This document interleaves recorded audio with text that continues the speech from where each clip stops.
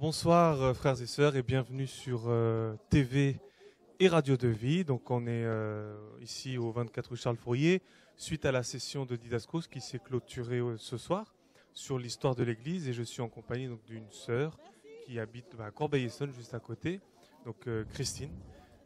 bonsoir. Oui, bonsoir. Donc vous sortez là fraîchement de, de la session. Fraîchement de la session, oui effectivement. Euh, j'ai voulu participer à cette session parce que j'ai à cœur de, j'avais à cœur de connaître l'histoire de l'Église, mhm. chose que j'avais déjà faite une première fois en m'inscrivant à une session d'Idasco, histoire de l'Église, ici même. D'accord. Et euh, je peux dire que c'est, c'était pas du tout la même chose. En fait, c'était deux, c'était même pas comparable en fait, parce que la, première session, je venais tout juste d'être convertie. D'accord. Et j'avais envie de connaître l'histoire de l'Église, connaître mon histoire, donc je m'étais inscrite. Et euh, le premier jour, je vais pas vous mentir, je me suis ennuyée parce qu'il y avait que des dates, des dates, des dates. Mais j'ai encore mes notes, j'ai encore mes, mes, notes. Et euh, attendez, je vais vous donner un exemple. Alors, euh, on avait parlé du fondement de la société moderne. Mhm. Retour de l'Église, des paroles méthodistes, euh, des dates, 1789. Euh, en fait, des dates, des dates, des dates, des dates, des dates, des dates. Et qu'est-ce que vous en aviez retenu du Rien. Rien.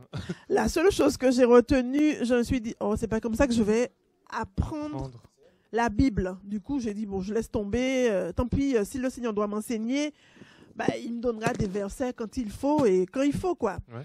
Puis j'ai laissé tomber, je me suis dit, bon, tant pis. Vous aviez fait toute la semaine, du coup? J'ai fait toute la semaine par respect. Euh, par respect, parce que je m'étais inscrite, donc j'ai fait toute la semaine par respect, mais chaque jour, je me disais, peut-être que demain, ça va être mieux. Différent, mais en réalité, non. C'était, c'était pire. J'ai rien retenu parce que c'était que des tas. Et je venais tout juste d'être convertie, donc je me retrouvais pas. Donc j'ai laissé tomber. Et euh, au fil de ma conversion, je me suis dit bon, mais il faut, je peux pas quand même rester comme ça, euh, en ne connaissant pas la parole. Donc petit à petit, je lisais la Bible. Et euh, je me suis dit, bon, je me relance à nouveau. Mhm. Je m'inscris euh, à une session. Je non, c'était pas là. Je me suis inscrite euh, à d'autres sessions. Et euh, je me suis dit, bon, vas-y, je m'inscris, je, retente. Après, si ça passe, ça passe, tant pis, ça passe pas. Et je me suis réinscrite. Et ne voilà-t-il pas que ça n'avait rien à voir? Ça n'avait rien à voir, ça n'avait rien à voir.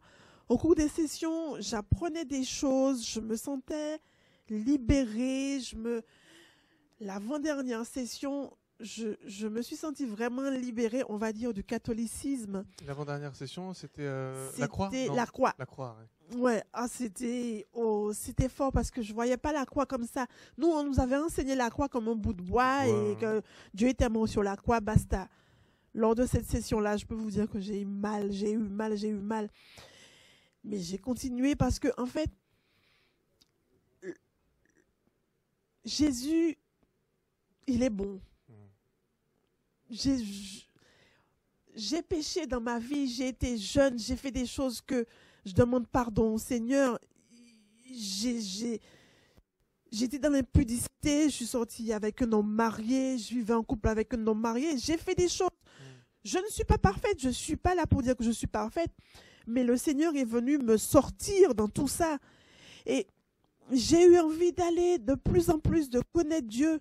J'ai envie de le connaître. Et je peux vous dire qu'aujourd'hui, je bénis le Seigneur parce que je suis retournée à cette session, l'histoire de l'Église. Mais on a vraiment fait l'histoire de la vraie Église parce qu'on s'est basé sur la Bible. Sur la Bible. Et quand le frère, je bénis le Seigneur pour lui, quand le frère enseigne la parole, rien, rien ne reste, on va dire, rien ne reste incompris. rien ne reste incompris. Moi qui ne je connais rien à la Bible, je je connais pas les versets, mais quand il lit un verset, mais on voit les choses différemment parce que Dieu parle à travers lui. Dieu parle à travers lui et je bénis le Seigneur pour lui parce que, comme j'avais dit une fois, je demande pardon encore parce que j'aimais pas les Africains, parce qu'il y a trop de magie, trop de trucs. Et le Seigneur m'a fait revenir à la parole par un Africain. Wow. Donc, rien ne se fait par hasard. Et quand des fois, il lit des choses, mais je me dis, mais Seigneur, mais, mais j'avais jamais vu ça comme ça. Mais tu fais rien, mais rien n'est fait au hasard. Ah, Rien n'est fait au hasard. Et je peux vous dire que j'ai, quand j'ai, quand on, quand on, quand on apprend la parole, on peut pas rester insensible. On peut pas continuer à vivre comme on vivait avant Mhm. quand Dieu parle à travers ce frère, on ne peut pas, je sais pas, je me demande comment les gens font pour continuer à pécher. Comment Moi, j'aurais pu dire, j'étais avec un homme marié, oui, je l'aimais, j'ai fait un enfant avec lui, certes, mais quand j'ai pris connaissance de la parole, je lui ai dit, je t'aime, mais j'adore Dieu. J'adore Dieu. Mon bébé avait neuf mois. J'ai galéré. J'ai souffert des nuits. J'ai souffert parce que lui, c'était la nuit qui s'occupait du bébé et moi, c'était la journée. Je peux vous dire que j'ai dégusté parce que l'enfant pleurait la nuit. Il voulait même pas que je le touche. Mhm. En tant que maman, on mal. avait mal. Ouais. J'ai dit, Seigneur, c'est pour toi que je fais ça. C'est pour toi, c'est toi que j'ai choisi. Tu peux pas me laisser comme ça. Et je vous assure qu'il y a des moments où c'était difficile, il y a des moments où je dormais pas la nuit, je devais aller travailler le lendemain, je pleurais, j'avais l'enfant sur mes bras, je pleurais. Mais le Seigneur m'a guéri, le Seigneur m'a béni, il m'a délivré. Et je peux, je suis, des fois, j'ai tellement mal parce que je souffre de la jambe. J'ai tellement mal, mes enfants me disent, maman, tu pourras pas aller travailler comme ça le lendemain. Je dis, oui, je pourrais aller travailler parce que c'est Dieu qui permet que j'aille comme ça. Donc, je bénis le Seigneur, je le bénis doublement pour la jeunesse parce que je crois qu'il fait un travail avec les jeunes et ça, je suis contente. Et j'ai ma fille qui est en train de se convertir et elle m'a dit, maman, Elle était là aujourd'hui? Oui. Wow. elle m'a dit, maman, je pense pas que si toi, tu t'étais sacrifié, que moi, j'aurais suivi ce chemin-là. Donc, j'invite vraiment, et moi aussi, je, je vais confesser le fait aussi que c'était compliqué avec elle. C'était compliqué avec elle parce que c'était tout le temps, on se disputait, mais Mhm. on n'arrivait pas à se comprendre. On n'arrivait pas à se comprendre, on n'arrivait pas. Et je disais, Seigneur, quand est-ce qu'un homme va l'emmener? Quand est-ce qu'elle aura un copain qui puisse me libérer? Parce que c'était dur. Et je bénis le Seigneur et je demande pardon. J'ai demandé pardon à Dieu parce qu'elle est encore vierge. J'ai demandé à Dieu, à Dieu pardon parce que j'allais l'envoyer dans, dans, dans Mhm. les pattes de l'ennemi. Et le Seigneur, il était là. Il, il était là. Donc, il, il a empêché tout ça et je le bénis jusqu'à maintenant. Elle est vierge et je bénis le Seigneur parce qu'elle va, elle est en train de se convertir. Elle est en train de chercher Dieu. Elle cherche Dieu. Je bénis le Seigneur. Quand je vois les jeunes filles, mais des fois, elle me dit, maman, tais-toi, tais-toi, tais-toi. Parce qu'elle me connaît déjà. J'arrive pas à voir une jeune fille habillée n'importe comment et ne pas lui dire qu'elle est mal habillée, ne pas lui dire que son corps est dévoilé. Elle me dit, maman, tais-toi, tais-toi, tais-toi, mais j'arrive pas. Elle me dit, tu connais, tais-toi, mais j'arrive pas. J'arrive pas à ne pas parler aux jeunes filles de Dieu parce que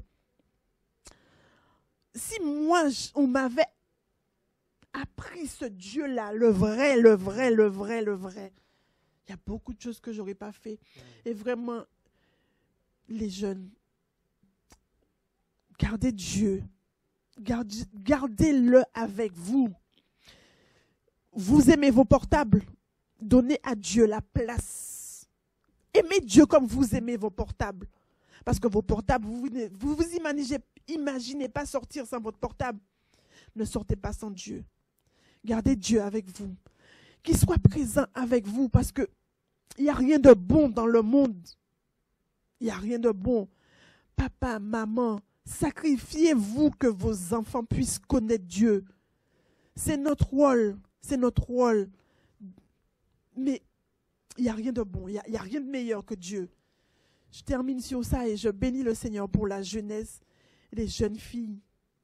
Gardez votre virginité. Gardez-la. Je pense que il n'y a rien. Moi, je me dis qu'il n'y a pas le plus beau cadeau qu'une femme puisse donner à son mari. Il n'y a pas plus beau cadeau. Donc, gardez ça précieusement. Ça n'a pas de valeur. C'est inestimable. Donc, gardez vos corps. Arrêtez de, de vous dénuder. Arrêtez de vous habiller n'importe comment.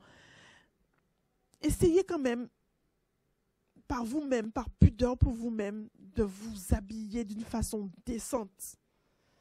Parce que moi, au départ, c'était un combat avec ma fille, mais d'elle-même maintenant, elle se dit Ah non, c'est pas bon, je, on, voit mon corps, non, je vais pas m'habiller comme ça. Donc, essayez. C'est pas toujours évident. Je sais que vous êtes jeune. Vous êtes jeune. Ah, on aura le temps, on aura le temps. Mais le temps ne nous appartient pas. Le temps ne nous appartient pas. Le temps appartient à Dieu. On ne sait pas quand il viendra. Donc, essayez de vous, pas essayer, tenez-vous prête. Tenez-vous prête. Surtout les filles, parce que, waouh, ça dépote. Oui. En tout cas, gloire à Jésus. Hein. Gloire à Jésus. C'est vraiment Et je- conseil d'une maman. hein, Ouais, c'est vraiment le conseil d'une maman. Et je bénis le Seigneur pour la jeunesse. Donc, maman, papa, mamie, quand ils disent que c'est réunion pour la jeunesse, ils ont envie de partager entre eux. Donc, laissez-les partager entre eux. Vous pouvez faire comme aujourd'hui, comme le frère a invité certains parents à aller à côté. Moi, je comprends effectivement qu'il y a des jeunes euh, de 10, 12 ans, c'est vrai, on ne peut pas les laisser se déplacer tout seuls. D'accord On les emmène, mais on va à côté. Donc, essayons d'être respectueux envers la mission. Ça aussi, c'est être chrétien. Respecter les consignes qui sont mises en place, respecter les frères. Ça aussi, c'est chrétien. Et comme, le frère Chora a dit un peu avant, il y a des choses qu'on ne peut pas développer devant les enfants. Donc, moi aussi, j'ai des enfants, mais je m'organise, je fais de mon mieux pour ne pas les emmener parce que je sais qu'on peut se retenir. Et une dernière chose, d'une jeune, il y a des choses qu'on a envie de dire quand on est en réunion de la jeunesse et on ne peut pas dire parce qu'il y a des parents. Donc, donnez-leur cette liberté en Christ.